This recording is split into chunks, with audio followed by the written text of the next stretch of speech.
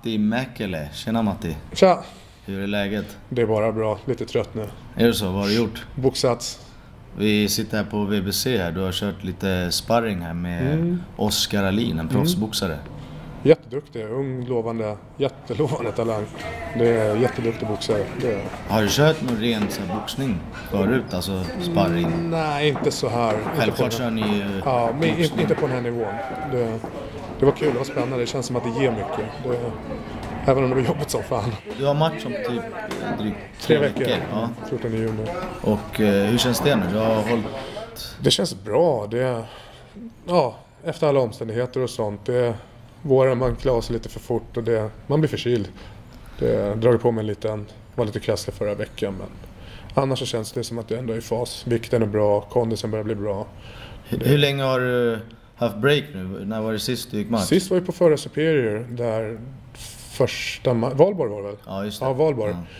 Så sen dess, sen hade jag väl uppehåll, nästan helt träningsuppehåll fram till ja, årsskiftet. Sen satte jag igång lite sakta i januari för att komma igång. Sen efter januari, februari där så började jag dra igång rätt ordentligt.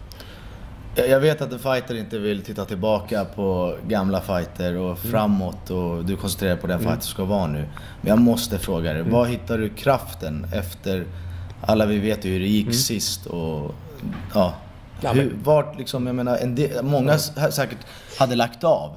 Och du hade, gjorde en grym match på Superior 6 där du liksom skickade Linton Wassel till sjukhuset i stort sett. Och ja, gjorde en grym match där och sen gick det som det gick på Superior 7 och, och du tog lite tid av. Och, var, var hittade du kraften att komma tillbaka och vilja köra nu igen? Det blev lite grann en värdemätare där mot, mot Hector. Det, jag kände det att jag hann inte komma in i matchen riktigt. När jag väl började komma in i matchen så hände det som hände. Och det, vad fan, det, det är sånt som händer. Men det, det är trots allt ändå. Jag körde så hårt inför den här matchen och jag tror inte jag hann någon vila efter, efter mellan sexan och sjuan.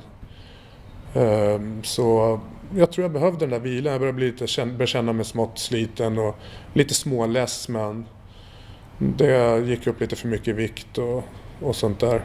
Men eh, det, det är ändå det suget efter att komma in i bur, eller ringen eller buren eller köra överhuvudtaget. Det, oftast är det ju mer man tränar ju mer sugen blir man igen. För det, ja, men det, det känns som jag är tillbaka både mentalt, alltså fysiskt och psykiskt. Ja, du ser pigg och fräsch ut och kry och ser hungrig ut. Hur pass hungrig är du inför den här matchen? Nu är jag ju rätt trött i mig, jag håller på att klippa så mycket mat. Men, eh, men alltså, hungrig, jag vill ju ha motståndaren och jag tycker det ska bli kul. Men samtidigt så blir man ändå nervös och bygger nervositeten, försöker få det att bli till någonting konstruktivt. Hur ligger du i vikten just nu då? 98. Så Okej. det, jag ska ner till 93 på tre veckor men det, det ska inte vara någon fara. Jag ska försöka att inte basta någonting eller driva någon vätska. Jag ska försöka vara klar när jag åker ner. Så försöka testa en ny, ny variant. Hur, hur ser en träningsvecka ut nu för dig inför match då? Jag ligger väl, snittar väl runt 15 pass i veckan med fys och allting så Ja. det blir, det blir rätt slitet och sen har jag heltidsjobb på sidan av så det, det, blir, det är tufft. Så du kör inte det här heltid? Du har ett Nej, jobb jag också? jobbar också. Det, det går inte att leva som, som fighter på den här nivån som jag är på. V- vad vill du med din fightingkarriär? Du har ju gått lite över 20 Ja. matcher nu. Ja, nej, jag, jag vet inte. Än så länge så känns det som att jag vill köra för att det är kul och vi får väl se vart, vart det leder. Än så länge så är siktet på den här matchen och sen nästa sikte blir väl på nästa Superior. Vi får se, Alltså se du det har siktat inte på att köra på Superior Ja, också? om det, om det går bra nu så får vi, får vi se. Beror på vad Mr Babak säger. Okej, okay. Okej, och eh, berätta lite om din träning på pannkakan med Omar. Hur, hur ser det ut? Vad, Ja, vi kör ju, kör ju dagpassen med Omar och sen, sen brottas vi också en hel del med Majid och sen kör, jag- kör kvällspassen har de mer som lekpass och springer en hel del. Väger rätt mycket nu så det blir inga längre sträckor. Det, men springintervaller och backe och mycket fys. Men mesta fysen försöker lägga in i längre ronder och köra med tyngre folk och vara så aktiv som möjligt mot dem. Och, men det, det känns som att, vi får se när matchen kommer men det känns, känns rätt. Som att jag har fått en bra balans på allting. utan att avslöja någon så här gameplan nu, men har du liksom någon plan för hur du ska föra matchen? Har du tittat på din motståndare? Är det något du bryr dig om? Alltså han ser rätt muskelbunden ut och ser inte ut att slå ut slagen ordentligt och sparkar så han antingen slår han eller så sparkar han eller så knär han så han blandat ihop allting. Och Visst, allt kan hända. Han är stark. Men vi får väl se. Han blir trött fort, står tungt på fötterna. Så vi får se. Planen är väl att röra på mig och slå. Vem får, vi får se. Senaste två matcherna har varit på hemmaplan. Hur känns det att åka till Bahrain och Skönt köra match iväg. där? Det blir semester. Det blir gamla, åka iväg, ladda, tagga till. Det, det var länge sedan nu som jag var på match någon annanstans. Det ska bli, ska bli kul. Självklart är det skönt Mm. att köra match hemma men känner du som en så här... Fast hemma blir det vardag. Det blir, du går runt hemma, du gör det, speciellt är i Stockholm. Det blir, man, man går hemma, man gör sitt, man jobbar till dagen innan eller man...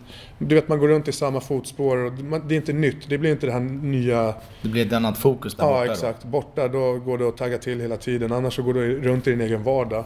Jag gillar mer borta, bortaplan, men hemma funkar också. Det, det är roligare också. Publiken är mer på en sida än på motståndarens sida när man är hemmaplan. Och det, Känns det skönare att köra på bortaplan för man känner att man har inte alla där, alltså hemmapressen liksom? För det är Mm. Ja, den, en den press pressen känner jag inte. Det, jag har inga problem med det där. Det, jag tycker det är nog skönt att ha folk, folk runt omkring sig men det, ja, det är väl just det att det är vardagen runt omkring som det är skönt att bli av med när man tävlar. Tävlar alltså borta. Du är även med i Superior Management där. Hur kom du in i den biten? Eller varit med sen? Jag har ju pratat, jag har haft en öppen diskussion med Babak om det där men det är bara jag som har varit så jävla fumlig och lat. Jag orkar inte det där längre och hålla på och söka matcher och hålla på. Det, det tar energi så. Så du låter Superior Management sköta det där nu? Mm. Jag snackar med Babak och det, det är lätt vettigt. Så vi får se hur mycket matcher det blir. Det blir så mycket som möjligt. Försök hålla mig i så bra form som möjligt. Så jag är öppen för så mycket som möjligt. Avslutningsvis så får vi önska dig all lycka till och se till att komma hem med en vinst. Och så vi får se dig här nu på Superior i oktober. För du är en krigare och folk vill se dig så all lycka till Matti. Mm. Tack, tack, tack.